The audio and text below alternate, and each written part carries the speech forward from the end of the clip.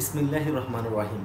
সুপ্রিয় শিক্ষার্থী বন্ধুরা, আসসালামু আলাইকুম রহমতুল্লাহ তোমরা কেমন আছো সবাই? আমি আশা করছি তোমরা ভালো আছো আর আলহামদুলিল্লাহ আমিও ভালো আছি। তোমাদেরকে আবারও স্বাগতম জানাচ্ছি ফেনে ন্যাশনাল কলেজ কর্তৃক আয়োজিত অনলাইন ভিত্তিক ক্লাসের তথ্য ও যোগাযোগ প্রযুক্তি বিষয়ের আমার দ্বিতীয় ক্লাসে। তোমরা যারা আমার প্রথম ক্লাসটি করেছ, তারা ইতিমধ্যেই জেনে গেছো, আমি গত ক্লাসে আলোচনা করেছিলাম তথ্য ও যোগাযোগ প্রযুক্তি বিষয়ের পরীক্ষার মানবন্টন নিয়ে এবং বিশ্বগ্রামের ধারণা নিয়ে আর বিশ্বগ্রাম সংশ্লিষ্ট উপাদানগুলোর মধ্যে আমি উপরের এই তিনটি উপাদান নিয়ে আমি কথা বলেছিলাম। যোগাযোগ, শিক্ষা এবং কর্মসংস্থান নিয়ে আমি গত ক্লাসে আলোচনা করেছিলাম এবং ক্লাস শেষে তোমাদের জন্য তিনটি প্রশ্ন ছিল। যারা ওই তিনটি প্রশ্নের উত্তর দিয়ে বিজয়ী হতে পেরেছ, তাদেরকে অভিনন্দন। আর যারা বিজয়ী হতে পারোনি, কিন্তু পরবর্তীতে এসেও তুমি চেষ্টা করেছ বা উত্তরটি দিয়েছ, তাদেরকেও ধন্যবাদ। আর যারা করনি, তাদেরকে বলব যে আজকের ক্লাসগুলো থেকে তো, আজ ক্লাস থেকেই তোমরা আজকের ক্লাসে যে প্রশ্নগুলো করব, সেগুলোর উত্তর দিয়ে তোমরা আমাদের সাথে সম্পৃক্ত থাকবে।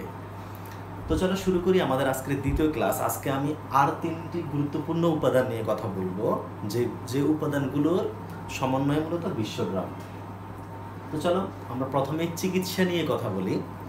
দেখো, বর্তমান সময়ে এসে বিশ্বগ্রাম যেটাকে আমরা বলছি বা উন্নত পৃথিবী যেটাকে আমরা বলছি, যেখানে আমার পৃথিবীটা আমাদের হাতের মুঠোয়, সেখানে প্রযুক্তির ব্যবহার চিকিৎসা ক্ষেত্রে দারুণ এক বিপ্লব নিয়ে এসেছে। চিকিৎসা ক্ষেত্রে প্রযুক্তি তথা কম্পিউটারের ব্যবহার আমাদের চিকিৎসা ব্যবস্থাকে অনেক উন্নত করেছে।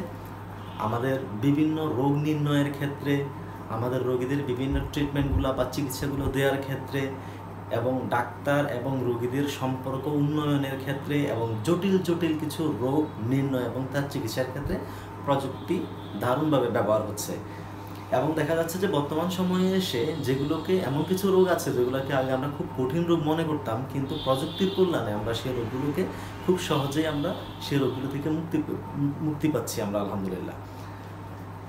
চিকিৎসা ক্ষেত্রে প্রযুক্তির ব্যবহারে দারুণ একটি বিপ্লব নিয়ে এসেছে টেলিমেডিসিন টেলিমেডিসিন শব্দটি তোমাদের কাছে নতুন মনে হতে পারে।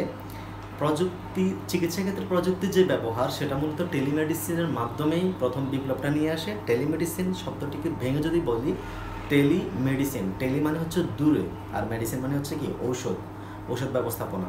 মানে দূরে থেকে কেউ যদি ওষুধ ব্যবস্থাপনা দিয়ে থাকে, তবে সেটাকে আমরা টেলিমেডিসিন বলব। আর যদি বইয়ের ভাষায় বলি তাহলে এটা হচ্ছে এমন একটি সেবা মাধ্যম বা এমন একটি চিকিৎসা মাধ্যম যেখানে ডাক্তার অনেক দূরে থেকে দূরে অবস্থান করেও রোগীকে ট্রিটমেন্ট দিতে পারে। মনে করো তুমি বান্দরবানে অবস্থান করছ আর ডাক্তার ঢাকায় অবস্থান করছে। ঢাকায় বসে ডাক্তার যদি তোমাকে বান্দরবানে তুমি অসুস্থ হয়ে গেলে যদি ট্রিটমেন্ট দিতে পারে, তবে সেটাকে আমরা টেলিমেডিসিন বলে থাকি। তাহলে টেলিমেডিসিনের সংজ্ঞা যদি চলে আসে, এটা খুবই গুরুত্বপূর্ণ একটি প্রশ্ন, কারণ তোমাদের অনুধাবনমূলক প্রশ্নে বা কখনো জ্ঞানমূলক প্রশ্নে চলে আসে যে টেলিমেডিসিনটা কি? টেলিমেডিসিন হচ্ছে দূরবর্তী স্থানে বসে বা ভৌগোলিক দূরত্বে বসে যদি চিকিৎসক রোগীকে যে সেবা দিয়ে থাকে, যে চিকিৎসা দিয়ে থাকে যে প্রক্রিয়া, সেটা চিকিৎসা দেওয়ার যে প্রক্রিয়া, সেটাই হচ্ছে মূলত টেলিমেডিসিন। টেলিমেডিসিন এই প্রক্রিয়াটি সম্পন্ন করতে গেলে কয়েকটি মাধ্যম লাগে। যেখানে গুরুত্বপূর্ণ একটা হচ্ছে তোমার টি টিএসসি যেটাকে আমরা বলে থাকি যে টেলিমেডিসিন স্পেশালিটি সেন্টার যেখানে মূলত ডাক্তার বসে ডাক্তার বসে বিভিন্ন রকমের সেবাগুলো প্রদান করে থাকে। এটা এমন একটা সেন্টার যেখানে ডাক্তার বসবে এবং রোগীদেরকে উনি বিভিন্ন পরামর্শ প্রদান করবে। আবার এখানে আবার আছে তোমার টিসিসি মানে যেটাকে আমরা বলে থাকি যে টেলিমেডিসিন কনসালটেশন সেন্টার যেখানে রোগীরা বসবে যে সেন্টারে রোগীরা বসে সেখান থেকে তারা ডাক্তারদের পরামর্শগুলো গ্রহণ করবে। আবার এখানে তোমার এই টেলিমেডিসিন প্রক্রিয়াটি সম্পন্ন করতে গেলে তোমার ইন্টারনেট কানেকশনের প্রয়োজন রয়েছে, তোমার ল্যাপটপের প্রয়োজন রয়েছে স্ক্যানার এবং প্রিন্টারের প্রয়োজন রয়েছে। তার মানে এই টেলিমেডিসিন এটি এমন একটি প্রক্রিয়া, এমন একটি সেবা মাধ্যম বা চিকিৎসা মাধ্যম যেখানে মূলত রোগীর দূরবর্তী অবস্থানে থেকেও ডাক্তারের সেবা নিতে পারে, ডাক্তারের চিকিৎসা সেবা নিতে পারে। তবে হ্যাঁ এখানে কিছু জটিলতাও আছে, কিছু প্রতিবন্ধকতাও আছে, সমস্যাও আছে। মনে করো কারও হাত কেটে গেছে, তো ডাক্তার দূরে বসে তো আর এটা সার্জারি করতে পারবে না, এসে ঠিক করতে পারবে না, তাই না? কিছু কিছু ক্ষেত্রে প্রতিবন্ধকতা আছে। তবে হ্যাঁ এটার অসুবিধার চাইতে সুবিধাটাই অনেক বেশি। আমরা হাতের না গেলে আমরা ডাক্তারদেরকে পেয়ে যাচ্ছি।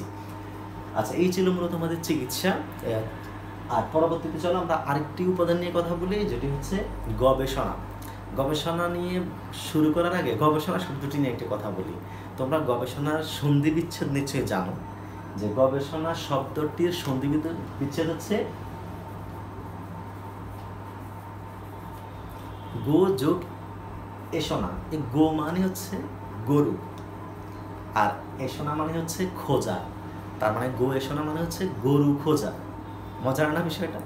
আসলে শব্দটি উৎপত্তির পিছনে মজার একটা বিষয় আছে যে মানুষ যখন তার একমাত্র সম্বল গরুটাকে যদি হারিয়ে ফেলে, সে যেমন মানে তন্ন তন্ন করে খোঁজে ওই গরুটাকে, গবেষণাটাও ঠিক এরকমই একটা গাছ যে যখন কোনো একটা বিষয়ে মানুষ তন্ন তন্ন করে খুঁজে বেড়ায় যে এটার সমাধান কি বা এটার উত্তরটা কি, তখন সেটাকে আমরা গবেষণা বলে থাকি।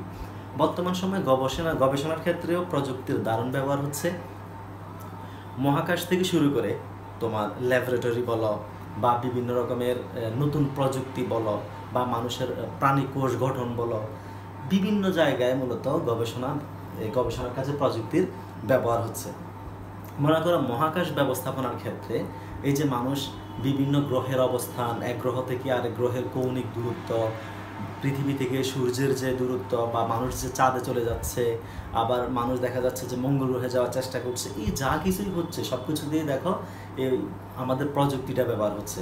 ওখানে কী ধরনের মহাকাশগুলো, মহাকাশ যানগুলো ব্যবহার হবে, কতটুকু তারা তাপমাত্রা গ্রহণ করতে পারবে, এর মহাকাশ ব্যবস্থাপনায় মূলত এবং এই ক্ষেত্রে শুধু প্রযুক্তি না, একবারে প্রযুক্তির উচ্চ লেভেল যেটাকে আমরা বলে থাকি কম্পিউটারের সুপার কম্পিউটার যেগুলো আছে সুপার কম্পিউটারগুলো ব্যবহার হচ্ছে মহাকাশ ব্যবস্থাপনা তো এই গবেষণার ক্ষেত্রে, মহাকাশ গবেষণার ক্ষেত্রে আমাদের প্রযুক্তির ব্যবহার হচ্ছে। এছাড়াও তোমার মনে করো, কোনো একটি বিষয় তুমি জানতে চাচ্ছ, তো সেক্ষেত্রে জানার জন্য যে কোনো কিছু ইভেন তুমি যদি বলো যে তুমি বিরিয়ানি কীভাবে রান্না করবা, সেটাও যদি তুমি জানতে চাও, সেটাও তুমি প্রযুক্তির মাধ্যমে তুমি গবেষণা করে বের করতে পারবে। সেটা হচ্ছে গুগল ডট কমে যাও W W W dot Google dot কমে যাও যাই শুধু লিখো যে বিরিয়ানি কীভাবে রান্না করতে হয়। দেখবে যে তারও বিস্তারিত ওখানে চলে আসছে। এই প্রযুক্তির মাধ্যমে তুমি এটা বের করে নিয়ে আসছো।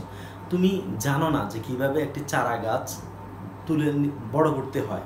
একটি বীজ থেকে কীভাবে চারা গাছ তৈরি করা লাগে? তো তুমি গুগলে সার্চ দাও, তুমি ইউটিউবে সার্চ দাও, দেখবে ওখানে দেখাবে যে কীভাবে আসলে একটি বীজ থেকে কীভাবে চারা গাছ তৈরি হয়।